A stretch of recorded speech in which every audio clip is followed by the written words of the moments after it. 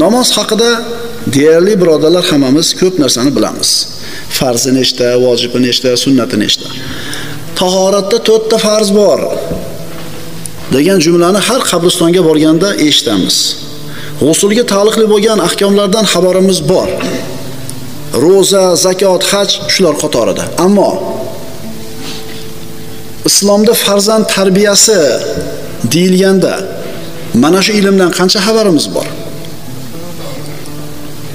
Bismillahirrohmanirrohim. Hayotimizda ko'p farz, vojib amallarni ado qilamiz. Namoz, roza, zakot, haj, e, sadaqa, e, ota-onaga yaxshilik qilishlik. Va mana shu farzlar biz o'lishimiz bilan to'xtaydi. Bu amallar bizga savob bermaydi. O'ldik, o'chdik. Ammo mana shu farzlarning ichida yana bir muhim farz borki, farzandlar tarbiyasi degan farz. Qarang, farz qanaqa edi? Farz qanaqa amal edi? Shariat jazm ila shubhasiz va qat'iy dalil bilan talab qilgan ish. Nima degani bu? Qilasan deb shariat majbur aytgan, majbur qilasan va majbur qilasan degan so'zini dalili qat'iy Qur'onning oyati bilan. Farzand tarbiyasi ham birodarlar farz bo'lgan amal. Bilamizmi shu farzni? Namoz o'qimasangiz gunoh tayin. Roza tutmasangiz gunoh tayin, jazosi ham tayin. Ammo farzi ayin bo'lgan farzandlar tarbiyasini qilmasangiz, bu farzni bajarmaganligi uchun jazo qanaqa ekanligini bilasizmi? Ammo bitta farz bor, farzandlar tarbiyasi degan farz bo'lgan, vojib bo'lgan amal.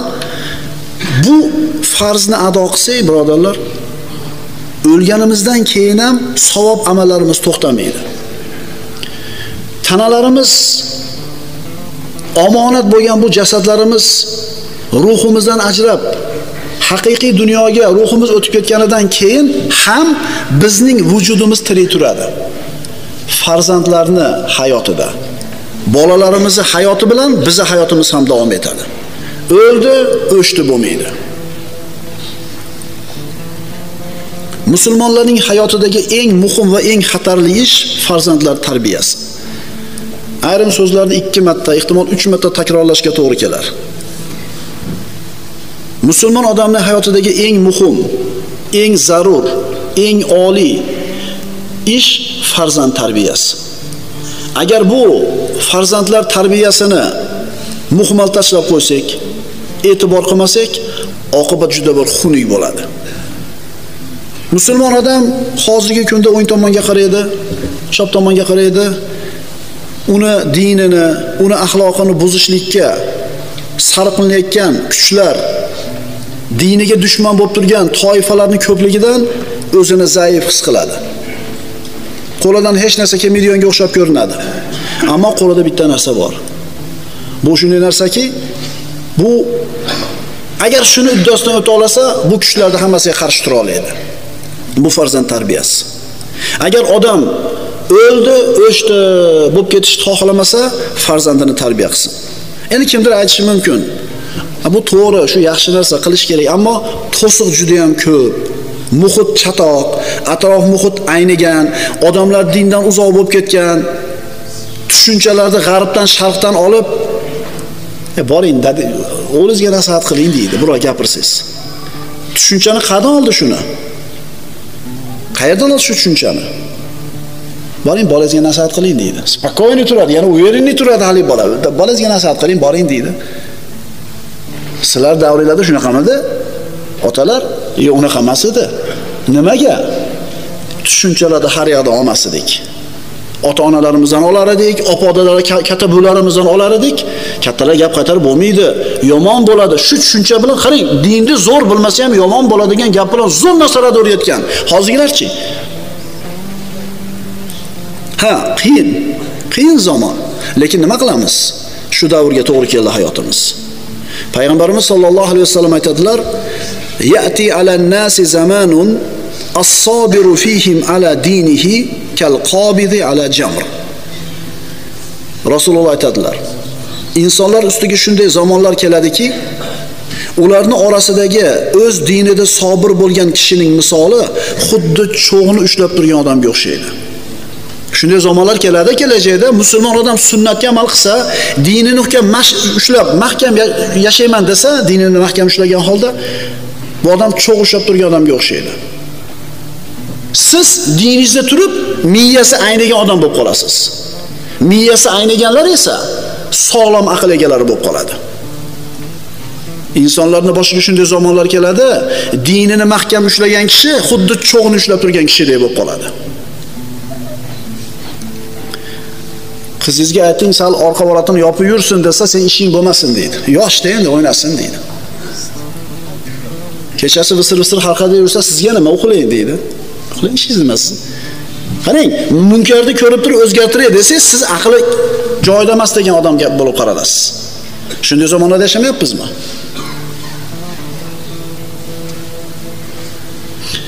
Akasi kasal, singlisi kasal, unga pul sablamaydi ammo qator-qator mashinaga nima qiladi?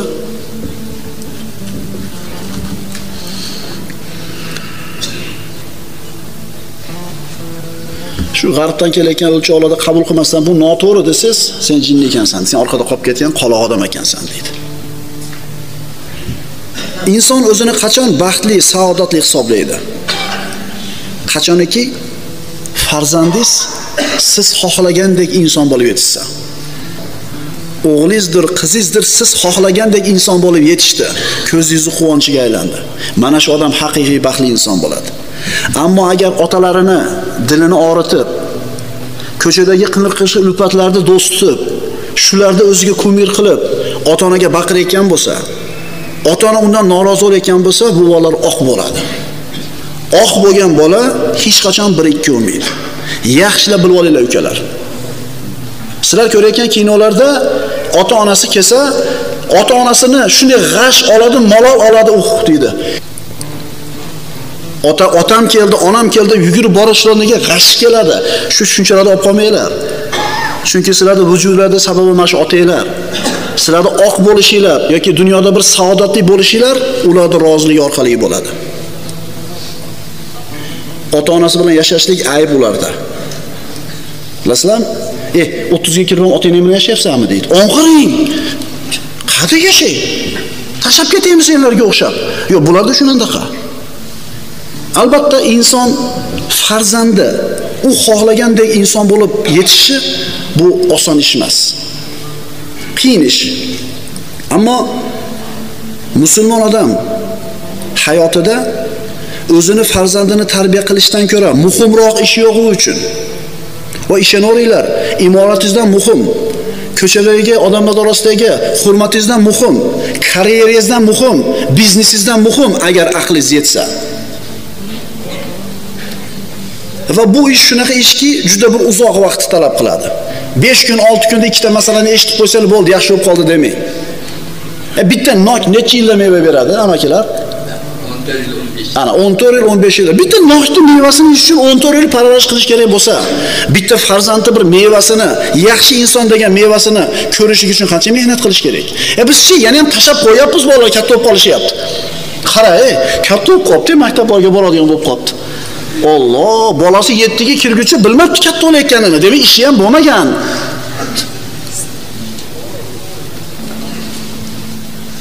Qarang, umrni bu nima xulosa oladi desangiz, umr o'tayotganini qara deb qo'yadi. Olgan xulosasi shu. E, qara, o'g'lim bitiribdi maktabni, on qara. Yomon o'tibdi umr. Sen nima yeb yuruvding?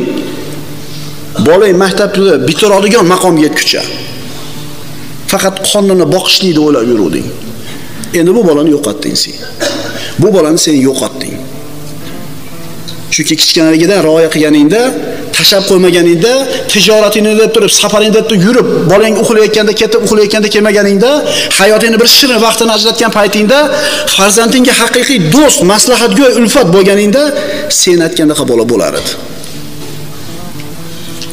Farzandlar kishining davomi, uning qalbining mevasi, vujudining davomchilari. Fahmda, kamolda, jamiyatdagi tutgan o'rnida, tijoratida, ilm darajasida katta-katta yutuqqa, katta-katta bir natijaga erishgan odamlar bor. Bo'y badavlat, olim, akademik yoki qandaydir mansabi katta, ammo bu odamlar farzandlarini yo'qotib qo'yganligi sababli farzandlari bu otalari xohlagandek inson bo'lmaganligi sababli baxtsizligini his qiladi. Farzand yoshlik chog'ida ota-onasidan nimaga muhtoj bo'ladi? Juda ko'p vaqt ajratishga, juda bir katta kuch sarflashlikka, nasihatga, ko'rsatmaga, ko'p kuch sarflashlikka muhtoj bo'ladi. 24 soat bor bir sutkasiga. Bir haftasiga 168 soat bor. Mana shu 168 soatni ichida necha soat farzandlaringizga xos ajratib o'tirdingiz mashhadda? O'zingizga savol bering-da.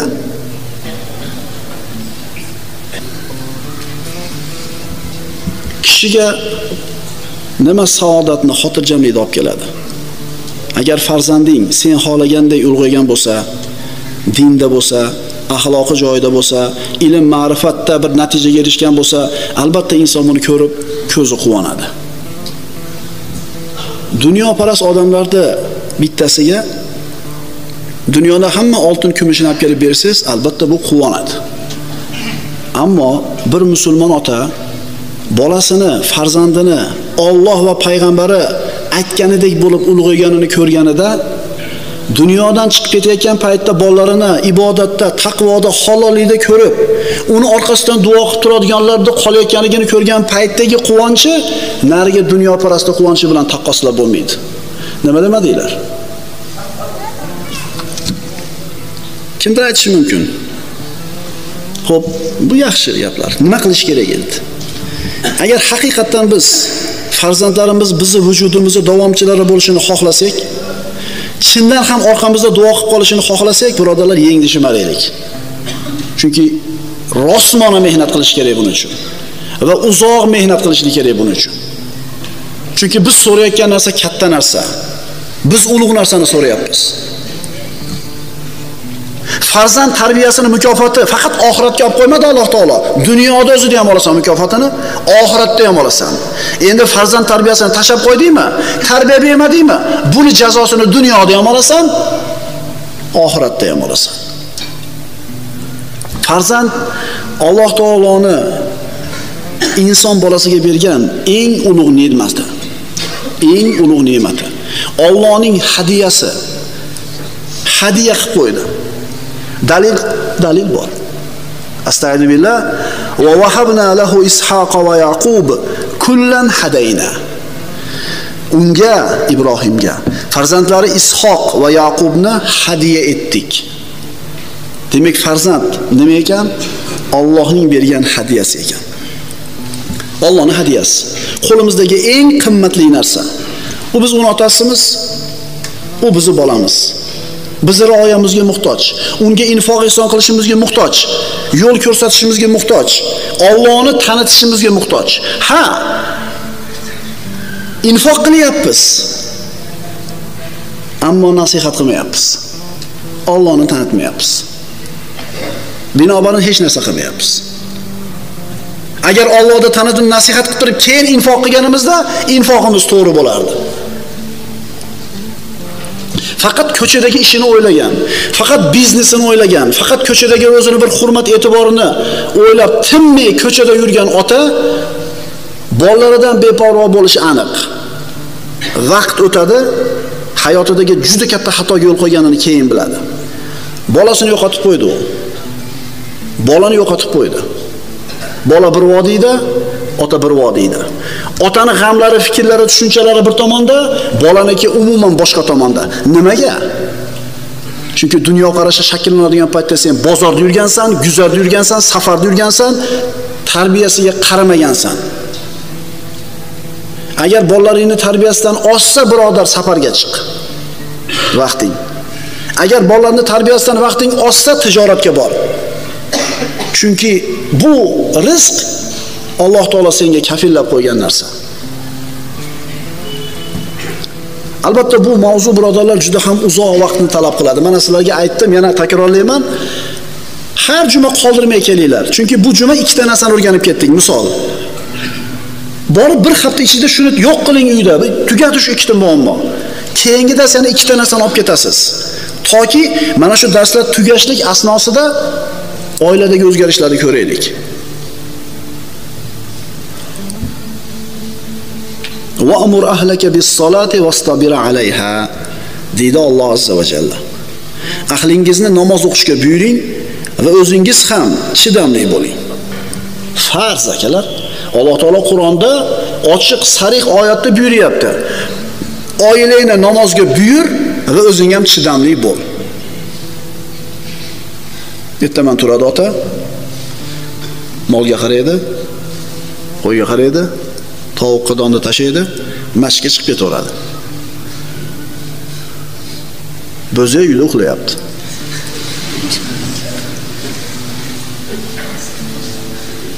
narigilarni foydasi naqda. Agar bir kun yemasa rejim buziladi, semirishi orqada qoladi, foydadan qoladi. Buchi bu. Buchi. Agar sen ollohni tanitganingda sen qaramas eding shu bolga, qo'yga. Nima qilar edi? Bu bolang turib tahoratingga suv olib kelib qo'yib qo'yar edi. Chunki jannatimni bitta eshigi bu otam.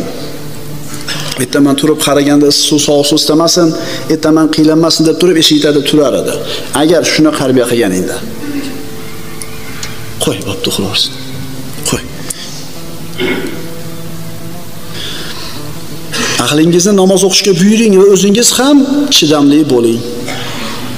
Bunga buyurilgan. Odamlar bor, 5 mahal namozga masjidga qatnaydi. 5 mahal namozda nafllar o'qidi, qiyomillayl o'qiydi o'qidi, ammo bolalari benamoz. Agar uyda o'qishga to'g'ri kelsa, to'r orqamga deng. Agar masjidga tushsa, yur orqamdan deng. Sen bor molga qara deb chiqib ketavermasdan. Kim o'rgatdi uni mana shu benamozlikka? Aytinglarchi. Biz o'zimiz o'rgatdik. Chunki yelkamizda qanaqa mas'uliyat borligini bilmas ekanmiz.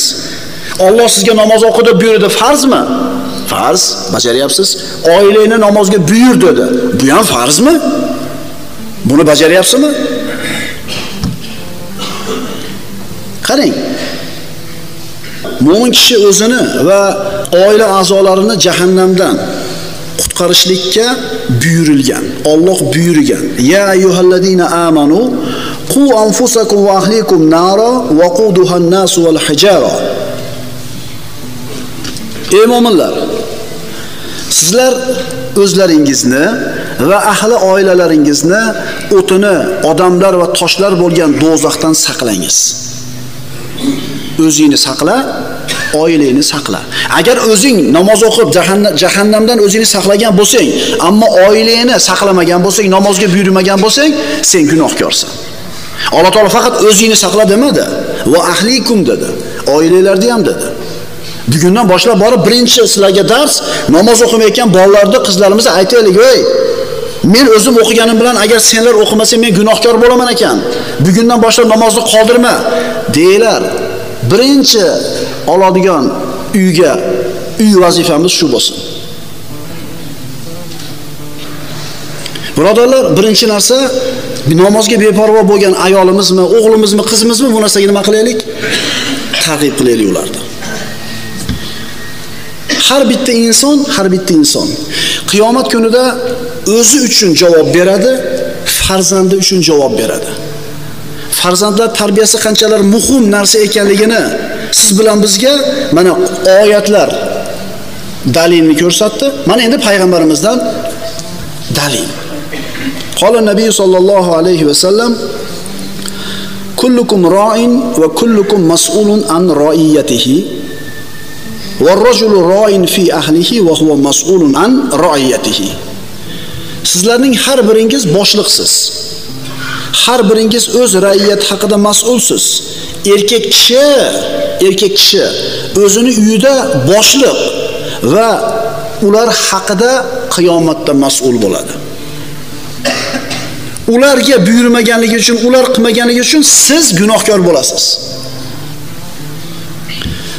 Asarlarda keltiriladi, bir farzand jahannamga kiradigan bo'ldi. Alloh taolo uni jahannamga olib kelinglar deb hukm qildi. Qari farzand dod deb turib oldi. Men kirmayman dedi. Otam kirmaguncha kirmayman dedi.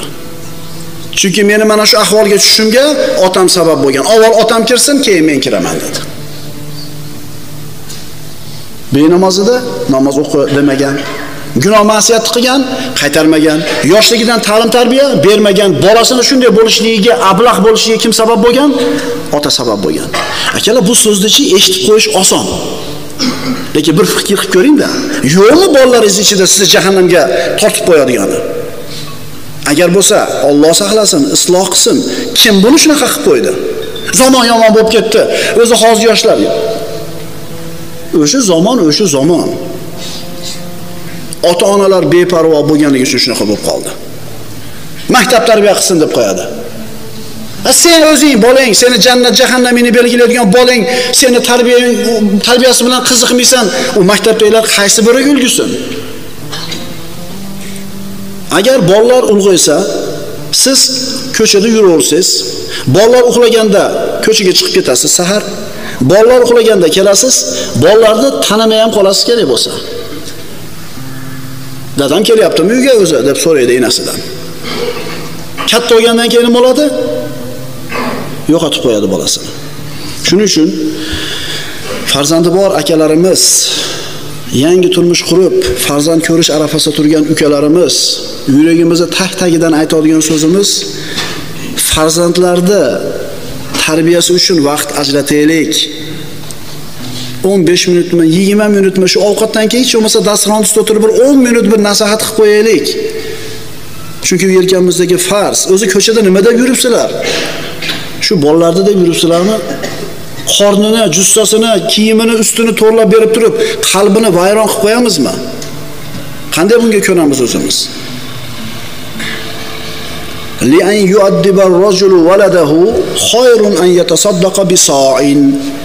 Payg'ambarimiz aytadilar bir so'ni ya'ni bir so' xurmoni sadaqa qilgandan ko'ra kishi o'zining bolasini odobli qilgani yaxshi.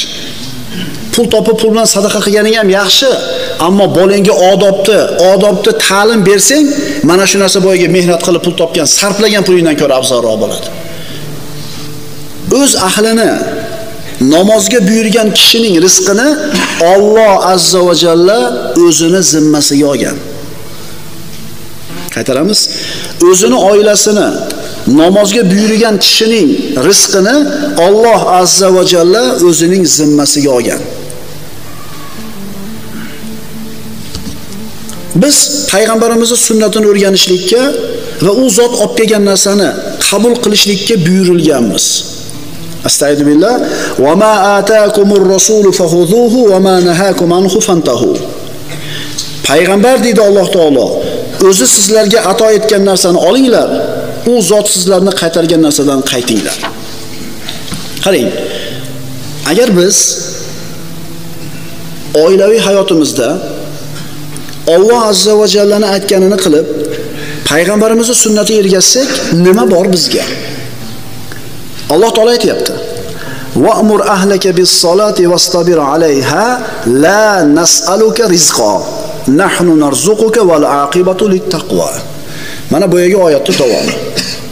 Ahlingizni namoz o'qishga buyuring va o'zingiz ham chidamli bo'ling.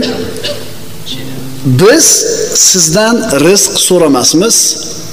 O'zimiz sizga rizq berurmiz. Namoz o'qi, oilangni buyur, sabrli bo'l. Men sendan rizq so'ramayman banda. Men beraman rizqni deyapti. Shu bolalaringiz hammasi namozga 5 mahal namozga bir mustahkam turib olsin-da, uyingizga kelayotgan rizqni barakotli bo'lganligini sezasiz. Siz 6 soatdan 8 soat ishlayapsiz. Ko'proq pul topganlarmikinman deb. Uyda bolalar benamoz, xotin benamoz. Men rizq so'ramayman deyapti Alloh. Rizqni men beraman deyapti. Ulamolar aytadi, oilasini namozga buyurgan kishining rizqini, uning oilasini rizqini Alloh taolo o'zini zimmasiga olgan. Endi domla hozir sezon bo'lib qoldi-da. hozir bir yig'im terim yo bo'lmasam shu kuzgi sezonda olib qolishimiz kerak bir ishimiz ko'p mavsum kelib qoldi shu bolalarni deb ko'chada yuribman-u birodar sen boquvchi emassan sen o'zing ham boqiluvchisan sen boquvchi emassan sen o'zing ham aslida boqiluvchisan. aqulu qawli hada va astagfirulloh li va lakum